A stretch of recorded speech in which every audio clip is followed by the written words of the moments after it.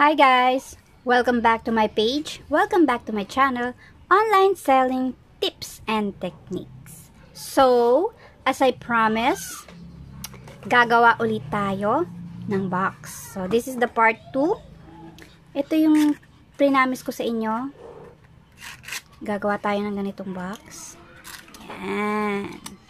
So, may flap siya sa bottom at saka dito sa kabilang side. Sa pinangako ko na flap. May flap dito sa itaas at dito sa bottom. Okay? So, kunin natin yung ating pre-scored uh, paper. So, as you can see, marami siyang lines. Unlike doon sa una, tatlo lang siya. Okay? Tatlo lang. Tapos, meron dito sa ilalim. Pero, same size lang ng uh, ng cardstock.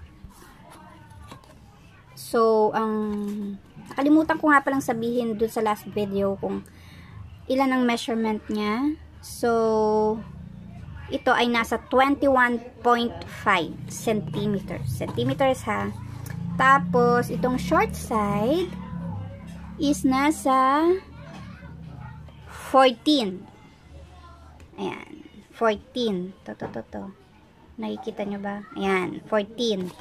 Ulitin natin. Yung long side is 21.5. Ayan. Ayan. To, to, to. 21.5. Magmula dito sa line na to hanggang doon. That is 2 inches. Sorry, malabo na. Kaya magkalala, magpapalit na rin ako ng ruler. 2 inches yan. Tapos ito is 1 inches. So, guguhit kayo dito. Dito, dito, dito, dito. Yan. 1 inches. Dito, ganun din. 1, 1 inch, tapos 1. 1 inch. Ganun din. 1 inches in all four sides. Okay? So, ang magiging, uh, ano yan, space 1, 2, 3, 4, 5.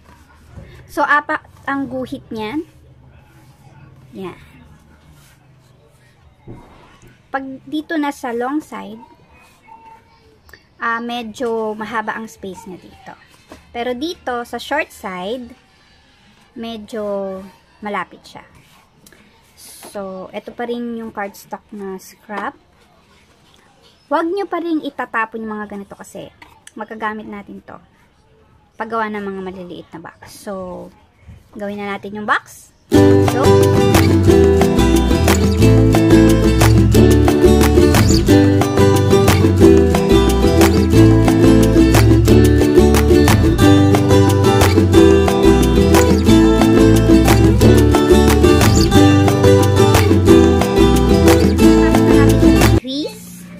So, maggugunting naman siya. Maggugunting naman tayo. Ewan ko ba, bakit ako nabubulol ngayon? So, dito tayo sa short side. So, nakikita nyo to. Ito, ba meron siyang line. So, may line siya dito, may line siya dito. Ganon din sa kabilang side. So, ang guguntingin natin is this one, this one, this one, at saka dyan.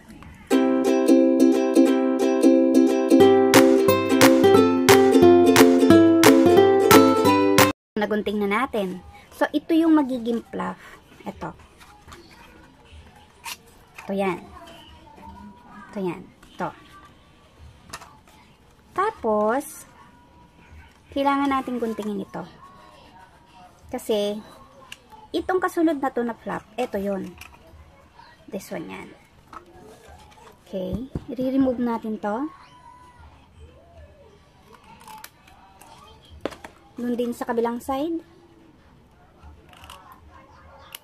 Okay. So, kasi, kung hindi natin guguntingin to, mahaba siya.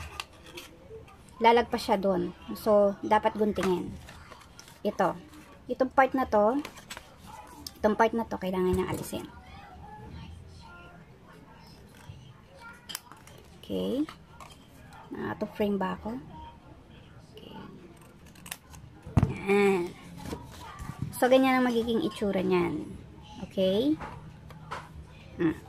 Kung ano yung ginawa natin dito, yun din ang gagawin natin dito.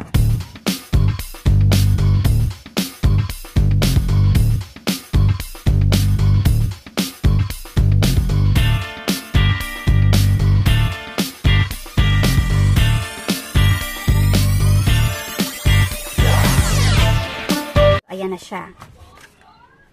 So, magpo-fold na tayo. Oops. Hindi pala na-crease. Sorry. Yan. So, ganyan yan. Ako ginagawa ko kasi, i-close ko muna to. Sorry, I forgot. Kailangan nyo palang uh, guntingin, pa-slide, pa-slant, I mean. Yan. Ganon din sa kabila. Pa-slant. Okay. Ganon din sa kabila. Yan. So, itry na natin kung sasara siya. So, na-close na natin itong isang side. Sa isang side naman. The reason why na ginamit natin siya pa slant, para magkasya siya. Pag pinasok mo yung flap dito sa loob. Pag hindi pa rin siya nagkasya, guntingin nyo na lang. Bakit pa ako nahihirapang ipasok siya? Yan. Ganyan na magiging itsura niya. See? Yan. Okay. So, hawakan nyo lang siya ng ganyan. Be sure na kapag uh, dinikit nyo is pantay. Okay? At hindi gaanong maskip yung dito sa itaas at dito sa baba. Okay? Yan. Pag dinikit nyo siya, kailangan pantay siya. Ha? Titinan nyo rin dito kung aligned yung papel at saka din dito. Pag hindi magkasya, gupitin nyo na lang pa-slant konti. Yan. So, nadikit na siya. So, kuha na naman kayo ng uh, creasing knife na mahaba. Tapos, i-press nyo lang. Press nyo lang to Hanggang dun sa dulo. So, ayan. Meron na kayong uh, maliit na perfume box. Yan.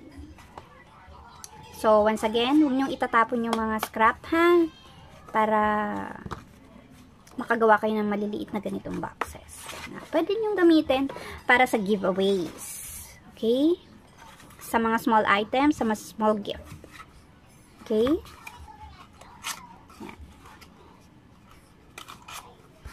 So, meron pa rin tayo sa susunod. Ito. Katulad din ito nung una nating uh, tutorial, kung paano nyo ginawa yon yung una, yung small box. Ganun din ito. Kaya lang, ang pagkakaiba nito is medyo mahaba. Slender siya. Okay? So, ayan. Sana nakuha nyo yung paggawa ng box na to. At sana makatulong din to para sa mga uh, pang-giveaways. Ayan. Bahala na kayo kung lalagyan nyo ng design o hindi. Or just a simple like this. Pwede rin pang business. Lagayan ng perfume box. Lagayan ng, pwede rin itong pang freebies. So, uh, thank you for watching. And hanggang sa susunod na tutorial. Okay. Bye. God bless. Thank you for watching.